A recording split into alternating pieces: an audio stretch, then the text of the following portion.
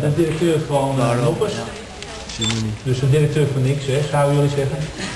Uh, maar dat is ondertussen niet meer zo. We zijn ooit in 2008 uh, in Purmerend begonnen. Met een hele kleine kringloopwinkel in een oude garagepand van 1000 vierkante meter. In de loop der jaren hebben we dat uitgebreid. En nu hebben we vijf winkels. En ik denk een winkeloppervlakte van 10.000 vierkante meter. Dus uh, uh, we zijn ondertussen echt een grote organisatie geworden. Uh, ondanks dat we de winkels heel laagdrempelig maken voor de mensen, dus bereikbaar voor een breed publiek, hebben we geen winstoog meer. Daarvoor hebben we ook een ambi-status gekregen, ooit. En, nou ja, en daarbij doen we ook aan, maatschappelijke doelen. En daar is een van de praktijkschool om uh, te zorgen dat, uh, ja, dat, we een bijdrage leveren. Daarnaast hebben we het mens. Dus er werken 263 mensen bij ons. En een deel daarvan die hebben een arbeidsbeperking. wij noemen dat een extraatje. Want dat maakt het ook bijzonder om bij ons te komen. En, en voor die mensen is het belangrijk omdat ze gewoon dat, dat het een hoop werk is. En alle verschillende werksoorten. En die werken ook met veel plezier bij ons. Dat zijn allemaal mensen die bij de sociale werkvoorziening vandaan komen. Dus bij op maat of bij baansteden.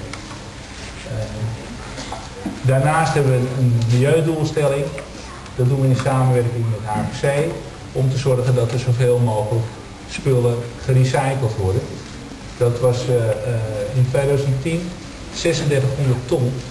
En daarvan werd er daarom 70% werd weer verkocht via de kringloopwinkels.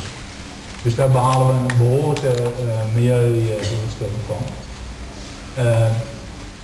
als je kijkt naar, naar de winkels, is kleding een van de belangrijkste productgroepen. En die zorgen ook voor uh, ja, dat er een hoop klanten komen, die, die, die vinden het leuk.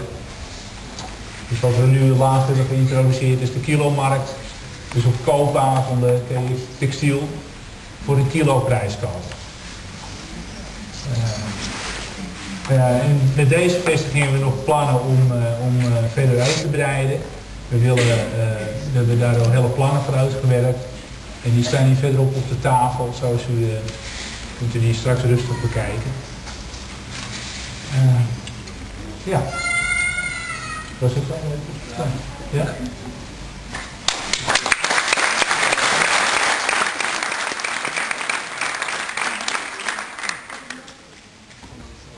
Is iedereen er hm?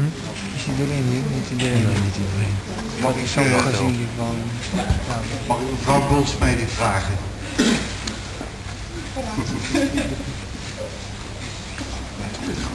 Ja. Zo, dat moet er regelen, man. Echt. Ja, ja, ja. geweldig. Ja, zo werkt een spraakversterker. nou, dames en heren, van harte welkom. Wat ontzettend goed dat er zoveel mensen gekomen zijn, leerlingen, waarschijnlijk ook ouders. Ja, ik uh, ben sinds een jaar burgemeester, ruim een jaar bij u. En uh, ik heb natuurlijk mijn kennismakingsronde gedaan. En vorig jaar ben ik uh, bij de praktijkschool op bezoek gegaan. En ik moet zeggen, dat heeft indruk achtergelaten. Ik vind het een prachtige school. Ik ben ook erg trots op dat hij in onze gemeente aanwezig is. En wij werden daar zeer enthousiast rondgeleid door een leerling. En ook die trots die ik voel, die uh, voelen die leerlingen zelf ook. En dat is de beste manier om een opleiding te krijgen. Uh, de, wat er met de leerlingen gedaan wordt, de resultaten die worden bereikt, de mooie dingen die zij maken, het verkooppunt wat daar was. Ja, dat vind ik geweldig dat, uh, dat je met elkaar zo ver komt. Ik had nog eens nog niet bezocht. Maar ik zat weer in een verhuizing eind vorig jaar en toen had ik natuurlijk heel veel spullen over, zoals dat dan gaat. Dus in mijn werkklopje samen met mijn man bracht ik meerdere malen spullen hierheen. En de uh, bedrijfsleiders, die uh, ook zeer enthousiast, die zei, wilt u even rondkijken? Dus hij heeft van alles verteld en laten zien. Nou, toen kwam natuurlijk ook de opening van, uh, van dit verkooppunt in samenwerking met de praktijkschool aan de orde. Ook dit op zeer enthousiaste wijze. En ik denk dat dat misschien wel de grootste overeenkomst is tussen de praktijkschool en tussen het NOPPES. Het enthousiasme waarmee uh, men de dingen doet die zij uh, willen doen, maar dat ook nog breder zien. En dat enthousiasme, dat zal ook waarschijnlijk hetgeen zijn wat jullie heeft verbonden. Ik denk dat het een hele goede samenwerking is en nog beter kan worden. Jullie kunnen elkaar alleen maar versterken. En het is natuurlijk een hele mooie kans voor jonge mensen in opleiding om hier werkervaring op